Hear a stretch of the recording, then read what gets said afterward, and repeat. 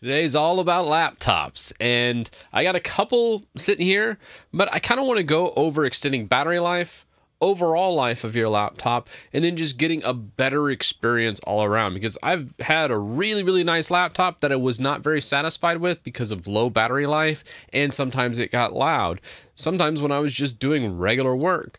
So it was more about understanding power management and getting that laptop to a state I want. Now I'm going to be going over both Windows and Linux in this video just to kind of showcase the big differences in power management and the approaches and then how to tweak them. Let's first tackle the thermal portion of this video, which means, hey, uh, if your laptop's running hotter, it's using more power because it needs to cool that down. And the hotter it runs, the more power it's going to suck and the shorter battery life. Also, it will eventually reduce the lifespan if running at a really high thermals. Anything over 80 Celsius, in my opinion, is a bit too hot. So, first thing, grab a cheap like pad like this. You don't have to get some name brand. Uh, I, will put like a link down there for like a $30 one, but get whatever one you like. Uh, I wouldn't spend a bunch of money. Just make sure it has a nice little grate. It's breathable front, both front and back. Uh, and typically they'll have like exhaust and intake ports and, and other fans, but any of these work. Just grab whichever one suits you best. Now, moving on from that, I would say uh, on this laptop and pretty much any standard laptop where you have a pretty accessible back, I would redo the thermal paste. I know that sounds like a big ask, and if you're not comfortable, definitely skip this part. But I will say on this stock Clevo laptop made by K Focus, here's the picture uh, I saw of it, and the thermal compound was uh, put on there quite heavy, and that's pretty standard on every single laptop. Asus, HP, Dell, all of them do it. They put those thermal compounds on there. So remove the back, put up um, the thermal and, and, get some good thermal compound put that on there or the thermal paste redo that uh, just put a drop uh, you know less is more in a lot of cases for thermal uh, paste and there's a lot of good youtube videos if you're unsure on how to do it. Just don't put excessive amounts on like they do on most of these uh, stock laptops. Now next up uh, i already showed this one but on this guy, these little Chromebooks, they last like 10 hours. Uh, Apple also has very, very long lasting batteries, and a lot of this deals with power management beside them. So let's get on the desktop and I want to show how to make this big honking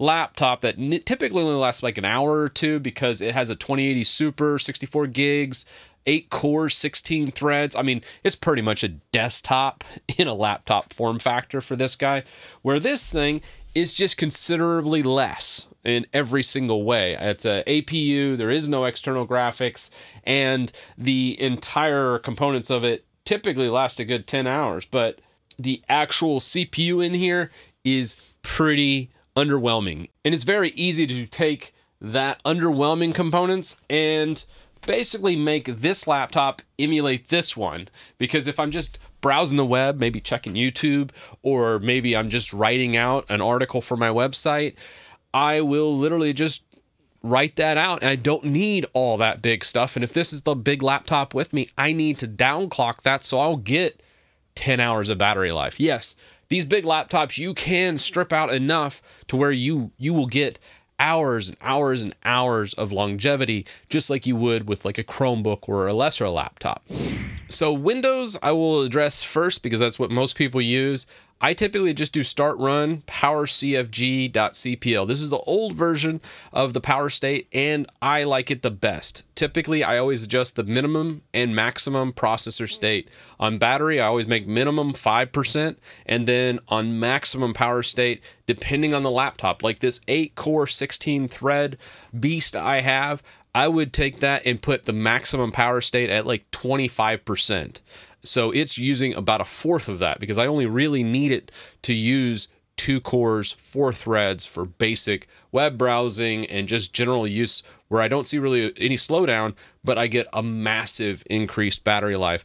So adjusting the min and max processor states using just the built-in power management in Windows is fantastic. You can't do this through modern Windows systems through the config, but that powercfg.cpl is still there. So you can definitely do it on modern Windows systems. It's just a little bit hidden. And if you want a script to do this, I, I love AutoHotkey for Windows systems because you can do all kinds of crazy stuff. On my website here, I just have kind of an entire script. Really, the only thing you need to do is just copy it, uh, put it in an AHK script, and then adjust your min and max values here. Uh, typically, this is just going to adjust your maximum capabilities. So DC power basically means uh, your your battery, and then AC power is going to be the wall. So you'd probably adjust AC power to be 100. Uh, in, if your laptop's a little bit too noisy when it's plugged in and you want to bring it down, you might switch it to like 75. But for DC power on this beefy one, I'd probably leave this at 25 so it does not use a massive amount of power and I really get a lot more battery life. Now on Linux, this could span out to so much. I'm just going to touch on what I like to do for my systems because this is a big change for how much power you're sucking. Linux gives you all the options in the world, but they can be so overwhelming. And I don't really think very many people do power management right on Linux. So I'm just going to show you the tools I use. The first bit is using like CPU power to adjust the frequency, much like we did in Windows. You can do the same thing in Linux. I usually just do CPU power. I install that utility and just do a frequency set.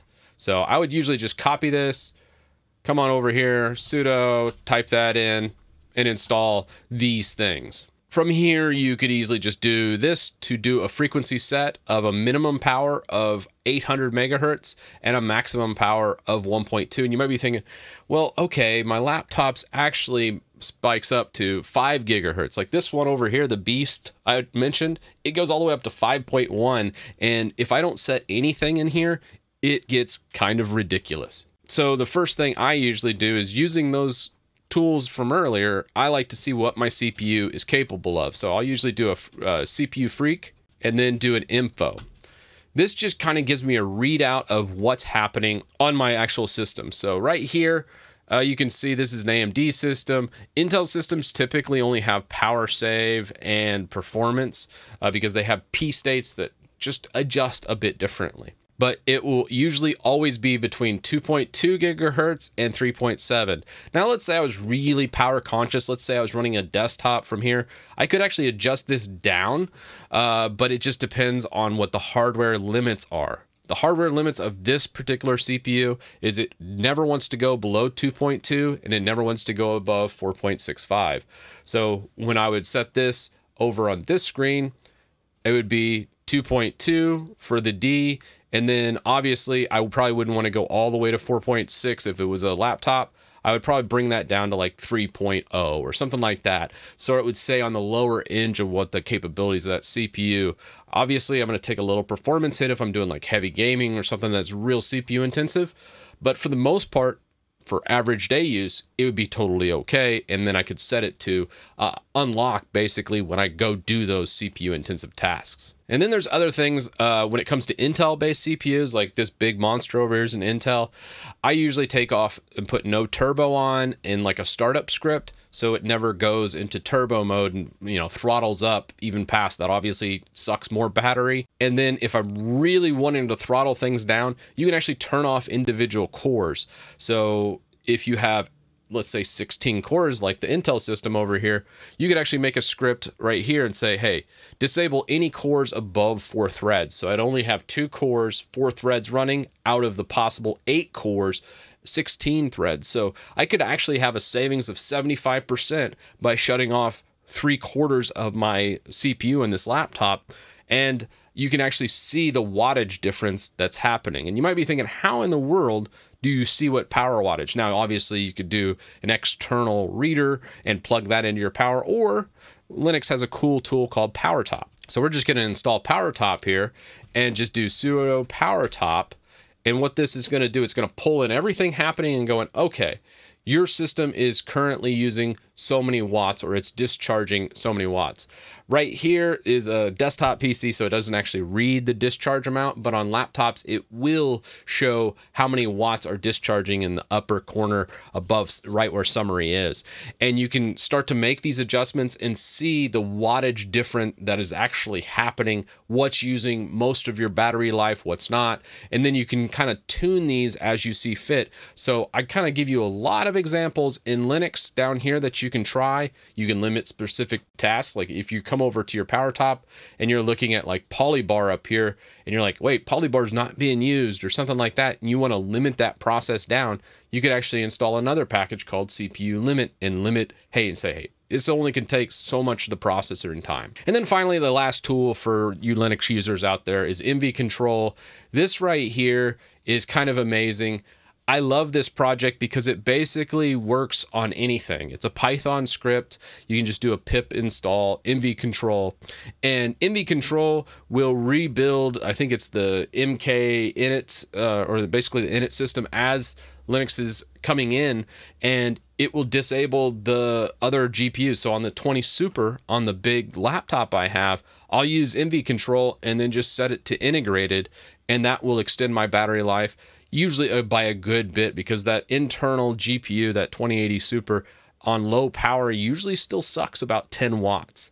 And this will basically remove those 10 watts and shut it completely down using EnvyControl. Or let's say you're doing a lot of high end work and you don't want to have to choose between, you know, Intel or the NVIDIA and you just want to run that 2080 Super because you have reliable power input switch it over to NVIDIA if you're doing some gaming and you got a good power source. Now, there's even more power management you can do in Linux. I just wanted to start to dive in there and kind of show you the tool set, mainly because Chromebooks have amazing battery life and Chrome OS is Linux underneath all that. And if they're able to do that in Chrome OS, you can do it in just regular stock Linux. And that's kind of what I wanted to really dive in and better understand these things because so many distributions just don't give a flying F about any of the power management. And most Linux all around doesn't even bother with power management. There's so much more that can be done in this space, and so many tools that still need to be written and flushed out uh, that is not made by Google. And that's the beauty of all these tools. You can use them. You can build your own using bash scripts. That's what I usually do for my laptops is I have a specified, you know, minimum one because most times when I'm pulling on a laptop, I'm mobile. So I automatically strip all this down just using a basic script. Check out the website, christitus.com, as over there on uh, christitus.com, I put all of these cheat sheets and copy paste commands, and I'll expand this article as more comes available for laptop power management. But just know, not all is lost. You have a lot of options in Linux, and even in Windows users, make sure you remember that legacy power panel because Windows does a decent job of power management just out of the gate, but if you want a little more control, that's how you get it. And with that, let me know your thoughts down in the comment section, and I'll see you in the next one.